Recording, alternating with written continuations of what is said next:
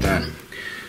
Niin kuin otsikko sanoo, niin se olisi kanapekoni pastaa ruoan aiheena ja tai videon aiheena ja tulee nyt toinen pastavideo aika lyhyen ajan sisään, mutta ei voi mitään, tämmönen resepti tuli mieleen kun mietin mitä sitä viikonloppuna ruokaa laittaisi, niin käydäänpäs aineet läpi, eli tietenkin pekonia ja kanaa, sitten sipulia, tuossa on eilisiltä hampurilaisilta jäänyt purskattua sipulia, käytetään sekin siihen pois, pesäkurpitsaa, paprikaa, persiliaa ja piti olla smetaanaa, minä kaksi purkkia mielestäni ostin tällä viikolla, mutta en löytänyt yhtäkään jääkaapista, mutta kyllä se tuossa smetaanakin tähän käy. Ei siinä mitään. Sitten on limenmehua ja valkosipulia. Niin ei muuta kuin tekemään. Minä näytän tämän kesäkurpitsa jutun, mitä tälle tehdään. Tämä halkastaan ensin kahtia, sitten vielä kahtia ja otetaan tästä tämä keskimmäinen sisusosa pois poikkeen. Sitä ei tässä käytetä. Ja tämän operaation jälkeen tämä pannaan pieneksi. Ja sitten pilkotaan paprikaa, sipulit ja sitten ruvetaankin kaivelemaan jo paistinpannua esille. Mutta minä teen tämän operaation jatketaan hetken kuluttua.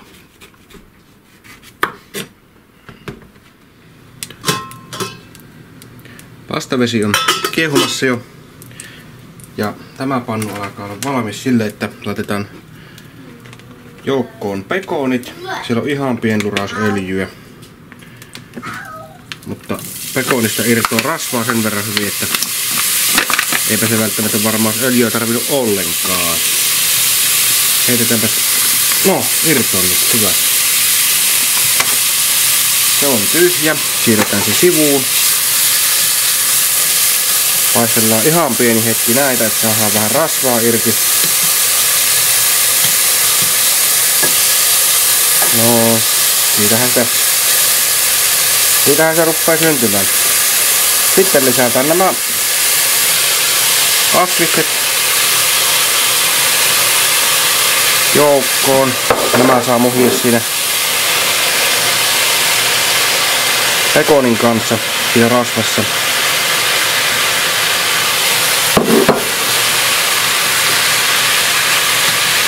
Muutama minuutin saa olla.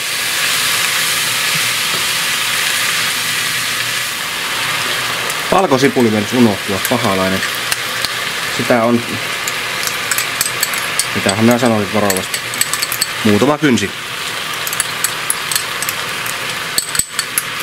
Noin.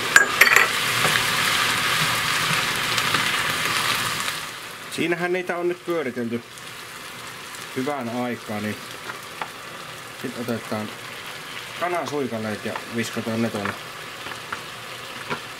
joukkoon. Menkö nesteinen päivinen suakaisen. Noin, nyt taas haudutellaan jokunen minuutti ja sillä välin voi siliputtaa tuon persilia nipuun tuosta. Jokunen minuutti on takana nyt ja en tosiaan kellosta paljon katsellut, kunhan nyt on pitänyt. Kanat alkaa olla varmaan suurin piirtein kypsiä jo. Et cetera, et cetera. Lisätään persilia.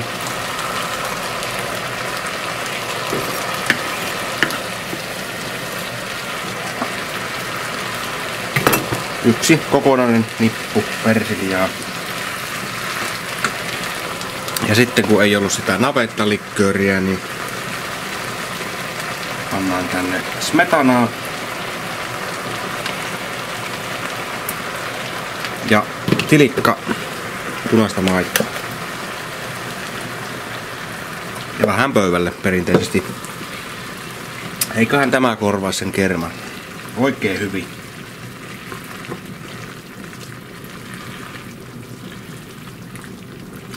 Nytpä se ei oikein tarvitsisi muuta kuin antaa hetken porista tässä. hiljaisella lämmöllä. Ja tuota, odotellaan, että spagetti kypsyy. Siinä oma aikansa menee vielä siinäkin. Ja hetken päästä lisätään viimeiset mausteet tähän äärimmäisen hyvältä tuoksuvan luomukseen. Spagetit on ihan, ihan parin minuutin päästä valmiit.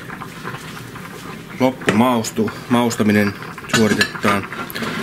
Eli tätä limeen mehua. Toki voi olla sitruunankin, mutta sattuu nyt tätä limeä olemaan, niin sitä, sitä siis tällä kertaa. Annan se nyt jääkaappiin suoraan piiloon, nimittäin meillä on lapset semmoiset, että rystää raakana menemään tuota mehua ja sitä joku muukin haluaisi joskus aina käyttää, niin pannaan se tuosta silmien alta pois. Sitten suolaa ja mustaa pippuria.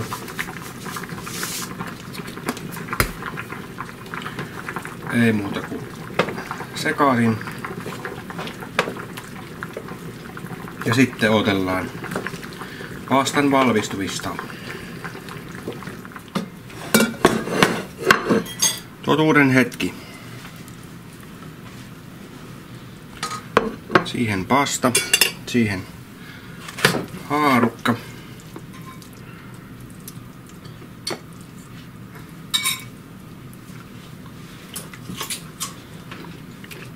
Siihen soosi.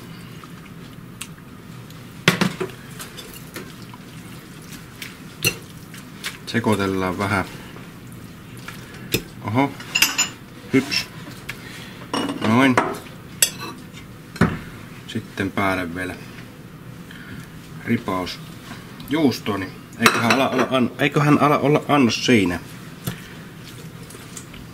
Otetaan nyt vielä nopea makutesti tästä videon päätteeksi. No. Kyllä, kähäri voi suositella. Tähin kuvia 뭐라 뭐라